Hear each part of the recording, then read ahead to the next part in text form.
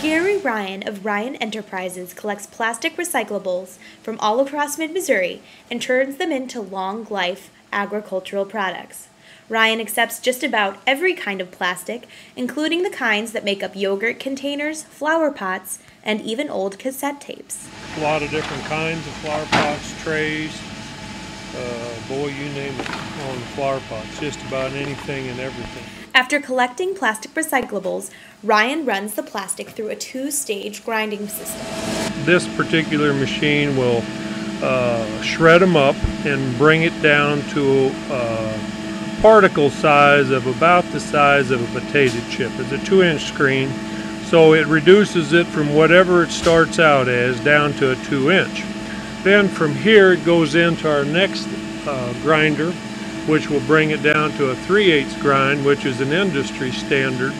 And that's a pretty small particle size. We've got to have a small uniform particle size so that when we melt it, we're not trying to melt a big piece and a little piece uh, side by side going through the machine. So that's why we have a two, two stage grinding system and by having this two-stage system, it really gives me the flexibility to take big profiles, big pieces of plastic that nobody else at most of your recycling centers would be able to handle.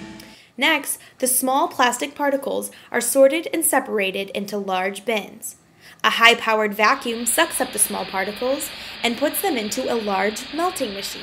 It was a little lower melt temperature, so I'm running about 4, 425. Once the plastic is melted, it's colored black using a natural compound.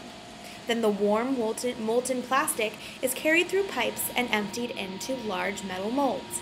These molds vary in shape and size according to the different products that they'll create, such as parking stops, fence posts, and gardening timbers. Excess plastic is dropped or squeezed onto the floor. Later, this material is remelted and used to make products.